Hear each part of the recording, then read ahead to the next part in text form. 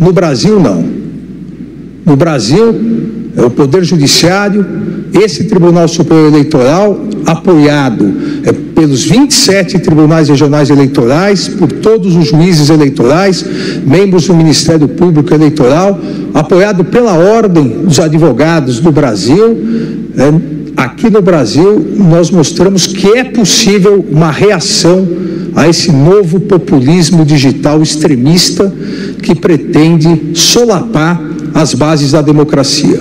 O Brasil saiu vencedor, a população brasileira saiu vencedora, a população brasileira acreditou nas urnas eletrônicas, um comparecimento maciço nas eleições, a primeira vez que o segundo turno de uma eleição teve mais votos, mais eleitores e eleitoras do que o primeiro turno, demonstrando que apesar dos ataques e bombardeio de desinformação, da tentativa de retirar credibilidade das eleições, do Tribunal Superior Eleitoral, das urnas eletrônicas e da própria democracia, é, o eleitorado acreditou na justiça eleitoral. O eleitorado acreditou que as instituições brasileiras são fortes, é que o poder judiciário brasileiro não se acovarda mediante agressões, não se acovarda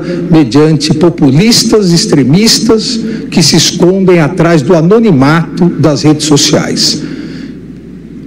Um legado de uma corte, um legado de uma gestão, um legado de uma pessoa pode ser medido por vários fatores, é, por vários instrumentos, mas eu acredito que o maior legado que o Tribunal Superior Eleitoral em cada presidência vem deixando, e eu pude contribuir com isso, nesses 92 anos da Justiça Eleitoral, é o único legado que importa para a justiça eleitoral: o fortalecimento, a garantia e a permanência da democracia. Muito obrigado. Bom dia, senhoras e senhores. Hoje é 3 de novembro de 2024, são 9 horas da manhã. O Supremo Tribunal Federal vai ter que enquadrar esse tribunal tão importante que é o Tribunal Superior Eleitoral pois ele pode estar se tornando, na verdade, ele já está se tornando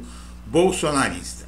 Uma nova ameaça à democracia paira sobre um tribunal que foi vital para impedir que o Brasil voltasse a ser uma ditadura militar. Mas a República tem como se defender. Em maio deste ano, o ministro Alexandre de Moraes deixou a presidência do TSE.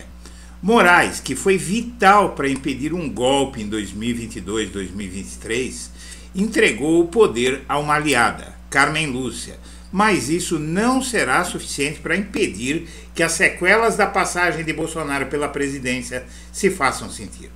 Jair Bolsonaro nos legou duas ameaças, na forma de dois ministros que indicou ao Supremo Tribunal Federal. Um deles vai presidir a eleição de 2026 e como se não bastasse, com a saída de Moraes, o tribunal pode ter uma maioria conservadora ou, quiçá, bolsonarista, o que explica que o ex-presidente nutre a esperança de disputar a eleição de 2022. Porém, a sucessão de governos progressistas entre 2003 e 2016 e a nova presidência de Lula criaram uma linha de defesa da democracia que tem se mostrado intransponível para os delírios autoritários e cleptocratas da extrema-direita brasileira. É nisso que apostamos. Antes de prosseguir, eu quero pedir a você que acompanha o blog da cidadania que se inscreva no canal, deixe seu like e compartilhe esse vídeo. Na despedida do Tribunal Superior Eleitoral, o ministro Alexandre de Moraes destacou o rompimento da cultura da impunidade na última sessão plenária, em 29 de maio deste ano, em que participou, Moraes fez um balanço qualitativo do legado da sua gestão. Bom, a má notícia é que a saída de Moraes da presidência do Supremo alterou o perfil político do TSE. André Mendonça assumiu a vaga na Corte Eleitoral em junho e Carmen Lúcia será presidente do tribunal durante as eleições, mas isso acabou não sendo bem assim. A saída de Moraes, em 3 de junho de 2024, abriu espaço para uma mudança no posicionamento da Corte Eleitoral. Sem a influência do ministro, a ala atualmente enfraquecida nos julgamentos pode ter vantagem nas eleições municipais. A Carmen Lúcia eh, eh, conduziu o Supremo durante as eleições municipais esse ano, mas ela não vai conduzir o Supremo na eleição presidencial de 2026. Quem vai conduzir é um ministro indicado por Bolsonaro. Mas antes vamos entender aqui o que é que aconteceu no tribunal. A ministra comandou durante o pleito municipal o, o TSE e a gente, infelizmente, a gente já sentiu uma mudança de padrão no TSE. Foi mais leniente, deixou prosperar tudo o que se viu aqui em São Paulo com medidas fracas diante da ameaça. Deixou uh, que se transformasse, por exemplo, a eleição de São Paulo num circo, num, uma, num ringue de luta livre, uh, literalmente, deixou prosperar fake news como a do Pablo Marçal, que fez o que fez e está aí sem que se saiba muito bem o que é que vai acontecer e deixou prosperar, veja só, no segundo turno, um, uma fake news pior do que a de Marçal contra o Guilherme Boulos, a, por, feita uh, por um dos candidatos, o, o Ricardo Nunes, e o governador do estado, Tarcísio de Freitas. E o TSE até agora não mostrou força que deveria ter mostrado. As eleições terão, portanto, não só uma nova composição no TSE, mas um reajuste de forças. A saída de Moraes e a entrada de Mendonça reequilibra os julgamentos diante da visão considerada mais neutra do ministro indicado por Bolsonaro. E aqui, só nesse site Poder 360, que é um lixo de site, ele tem muita notícia, mas é um lixo do ponto de vista ideológico. Por quê? Porque escreve coisas como essa. Você vê, a visão considerada mais neutra, não tem de neutro, é neutro o Mendonça.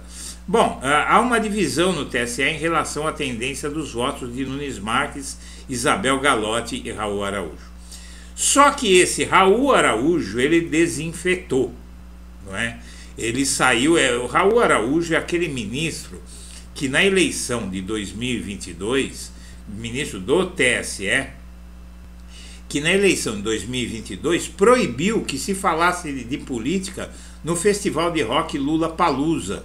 Ele quis censurar as manifestações do público contra o Bolsonaro. É, é algo, eu não sei o que é que ele é, queria fazer, né? é claro que não funcionou, não é? Mas ele queria que censurasse o público, que o público não, pode, não pudesse gritar fora Bolsonaro. Veja só. A próxima presidente, que foi agora presidente do TSE, Carmen Lúcia, é alinhada a Moraes? É. Isso é verdade, ela é alinhada a Moraes, mas ela foi fraca. Não teve o pulso do Alexandre de Moraes.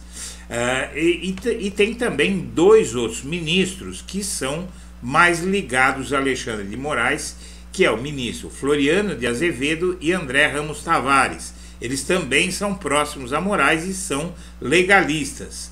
Uh, mas você tem um, um problema, você tem uma ministra ali no TSE, que é a Isabel Galotti, e também você tem um, o Mendonça e você tem o Nunes Marques, que também foi indicado por Bolsonaro.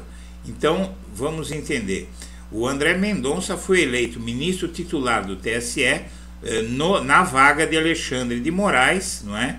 Uh, isso já é um problema muito sério, porque ele vai, vai ter um papel uh, de votação, pelo menos, muito importante. Mas o pior é isso aqui: Nunes Marques vai presidir o TSE nas eleições de 2026. Indicado por Bolsonaro ao STF, o Nunes Marques assumiu a vice-presidência do Tribunal Superior Eleitoral e, como vice-presidente, é ele que vai comandar a eleição de 2026.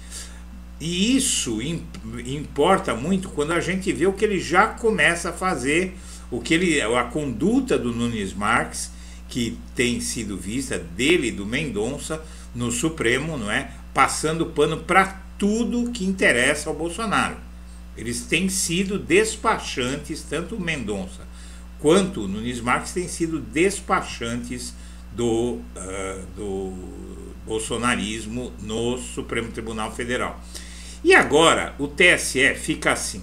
A Carmen Lúcia, tudo bem, é legalista, é, é ligada ao Moraes tal, mas você tem o Cássio Nunes Marques, que é bolsonarista, o André Luiz Mendonça, que é bolsonarista, e aí eh, nessa você tem uh, uma terceira ministra que pode ser um problema, que é a Maria Isabel Diniz Galotti Rodrigues você já vai entender. Ela, ela é conservadora, isso não tem dúvida, mas há uma discussão sobre se ela é ou não bolsonarista. O Antônio Carlos Ferreira é também ligado a Moraes, Floriano Peixoto de Azevedo é, é ligado a Moraes e o André Ramos Tavares, que acaba de assumir, também é considerado progressista. Então ali você teria é, quatro ministros progressistas e três de conservadores. Então isso já equilibra um pouco mais o TSE. Mas o Nunes Marques vai comandar a eleição de 2026. E isso pode ser um grande problema. Mas tudo tem uma solução. Vamos, vamos seguindo aqui. Esse novo ministro que entrou no lugar do Raul Araújo é, é na verdade é Antônio Carlos Ferreira que entrou no lugar do Raul Araújo, não é? é ele, ele tem um viés é, considerado progressista, diplomático com viés de esquerda. Novo ministro pode mudar o perfil do TSE. É, por quê? Isso aconteceu agora em setembro. A chegada de Antônio Carlos Ferreira ao TSE muda o equilíbrio de forças no plenário. Ele substitui Raul Araújo, que votou em 2023 a favor de Bolsonaro em ações que resultaram na perda dos direitos políticos do ex-presidente. E Araújo foi acompanhado por Nunes Marques, nomeado por Bolsonaro para vaga no TSE. Então, quando tornaram Bolsonaro inelegível, esse Raul Araújo votou a favor do Bolsonaro. Ele foi voto vencido, mas o, o Raul Araújo está fora. E com isso, o TSE passa a ter uma composição em constante mudança, porque os mandatos são de dois anos, com renovação por igual período. Então, nessa nova composição, a gente tem o Antônio Carlos Ferreira, que é o novo ministro, e o Floriano Peixoto de Azevedo Marques e o André Ramos Tavares. O problema é essa senhora aqui, ministra Isabel Diniz Galotti Rodrigues. Uh, é bolsonarista ou não é? O perfil da nova ministra intriga o Tribunal Superior Eleitoral. A nova composição do TSE que, estre... que estreou no final de 2023, com ela entrando no jogo, uh, pô, mudou o placar. E o fato é que alguns indícios corroboram uh, uma expectativa de que ela possa ser de direita. Uh, em 2022, três dias antes do segundo turno, a ministra, que já atuava como substituta no TSE, deu quatro decisões liminares com direitos de resposta à campanha de Bolsonaro na televisão. Pouco antes do horário de exibição das inserções, no último dia da veiculação das propagandas eleitorais, o plenário do tribunal reverteu as liminares a pedido da campanha de Lula. Nos julgamentos contra Bolsonaro ocorridos em 2024, cinco ministros condenaram o ex-presidente e dois votaram pela absolvição. A chegada de Galotti, portanto, não representaria necessariamente vantagem para Bolsonaro nesse ano, mas a partir agora da chegada do Nunes Marques e do Mendonça, tudo mudou. E agora você tem aí uh, um, o caso do Tarcísio de Freitas que a Carmen Lúcia prometeu que haveria resposta contra o crime eleitoral dele no dia da votação em segundo turno, quando ele fez uma acusação falsa, sem provas, com o pessoal votando, ele foi lá e fez campanha eleitoral para a imprensa ao lado do Nunes e fazendo uma acusação grave contra o Guilherme Boulos, enquanto todo mundo votava. A Justiça Eleitoral é, diz, segundo essa reportagem da CNN, que, ia ter, que vai ter duas frentes de investigação para apurar a fala do Tarcísio de Freitas, que associou Boulos ao PCC. A CNN apurou que, além do possível abuso de poder político na campanha eleitoral, o que pode gerar a cassação do mandato e a declaração de inelegibilidade de Tarcísio, o caso também vai ter desdobramento na área criminal. As duas investigações vão ocorrer paralelamente. Muito bem, aí no dia seguinte começa uma historinha. Primeiro que a PM resolveu fazer um relatório para sustentar a acusação do Tarcísio contra o Bolos, e isso é óbvio que é ordem do Tarcísio, não é? Só que não importa, mesmo que o PCC tivesse uh, a favor do Bolos, ele não poderia fazer essas declarações durante o processo eleitoral. Aí, no dia seguinte, a, a matéria da CNN falando das duas frentes, criminal e eleitoral, uh, a Folha de São Paulo, que vem atacando o Supremo Tribunal Federal e, sobretudo, Alexandre de Moraes, e vem se aproximando do Tarcísio, a Folha de São Paulo, que chegou a publicar uma reportagem dizendo que o Tarcísio é o bolsonarismo moderado de que o Brasil precisa, né? Esse jornal veio com uma história de que o pedido de inelegibilidade de Tarcísio não deve prosperar, porque o relator do caso é Cássio Nunes Marques. Ele vai ser o, o relator da notícia crime de bolos contra o Tarcísio. E esse jornal diz o seguinte, que conversou com, uh, veja só, a notícia crime da campanha de Guilherme Bolos contra Tarcísio de Freitas, pela declaração que vinculava o Bolos ao PCC, tem pouca chance de tornar a, o governador de São Paulo inelegível, avaliam três ministros do TSE. Você sabe muito bem quem são esses ministros. Esses ministros são Nunes Marques, André Mendonça e Isabel Galotti. É mais do que claro isso. E eles vão na contramão de todos os outros ministros, inclusive da presidente do tribunal, Carmen Lúcia, que diz que o Tarcísio vai ter uma resposta. Uh, o, o que acontece é o seguinte: ministro que pode tirar Tarcísio da eleição foi indicado por Bolsonaro. O Nunes Marques tem hoje mais poder para mexer no cenário político de 2026 do que qualquer partido. Ele é relator no TSE da ação que pode tornar o governador de São Paulo, Tarcísio de Freitas, inelegível por oito anos. Também será o presidente do TSE na próxima eleição presidencial. O ex-presidente Jair Bolsonaro, que indicou Nunes Marques ao Supremo, já disse que irá se inscrever como candidato mesmo estando inelegível e afirmou que a corte que resolva. E a corte que resolva porque a corte vai ser presidida pelo Nunes Marques. E ao lado de Tarcísio, é, já, e ao lado de Tarcísio já respondeu nos Marques que entre os dois candidatos será Messias, em referência ao seu nome do meio. O governador é acusado pelo Boulos de interferir na disputa eleitoral e Nunes Marques ainda não tomou decisão a respeito, segundo é, foi apurado. E não há prazo para ele fazer isso. Ele vai engavetar. O fato é esse. Aliados dizem que Tarcísio não era candidato, portanto não pode ser acusado de crime eleitoral.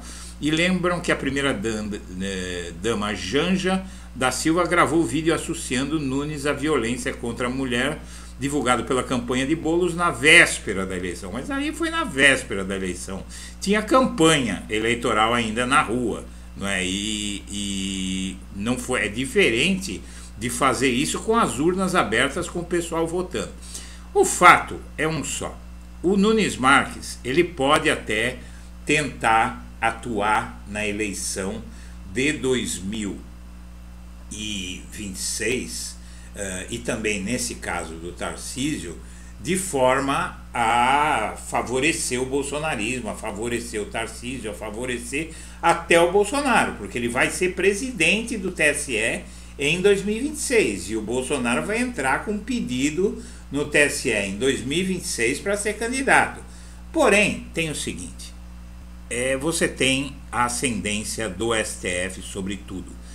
Veja, meu amigo, minha amiga, eu não canso de falar isso, porque matérias como essa, do Grupo Folha, representado pelo UOL, dessa tal Andresa Matais, que cobre o judiciário, sempre ignora o seguinte, que ele pode fazer tudo o que ele quiser, o Nunes Marques, por exemplo, até a página 2. Por quê?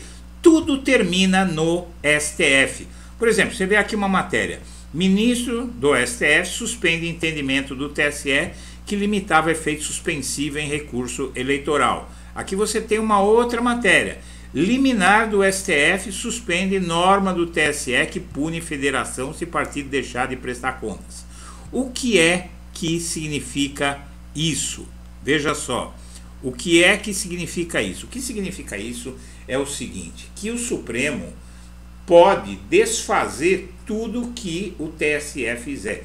Não só o presidente do TSE, mas também o TSE como um todo o Supremo Tribunal Federal chama-se Supremo Tribunal Federal porque paira acima de tudo na República. Todas as decisões que têm que ser tomadas no país em relação a questões judiciais são decididas pelo Supremo. Não tem Congresso, não tem Senado, não tem Câmara, não tem presidente da República, não tem TSE. Então é com isso que temos que contar que o STF, presidido uh, hoje uh, pelo Barroso e que tem sido um órgão de defesa da democracia, não permita que essa gente volte a aplicar golpes no Brasil e trabalhe pela impunidade. Mais uma vez, Alexandre Moraes, Flávio Dino, Gilmar Mendes, e todos que a gente tem lá, que têm sido tão importantes para preservar a democracia, precisam nos proteger dessa gente. Senhoras e senhores, eu agradeço a atenção e deixo meu abraço para todo mundo.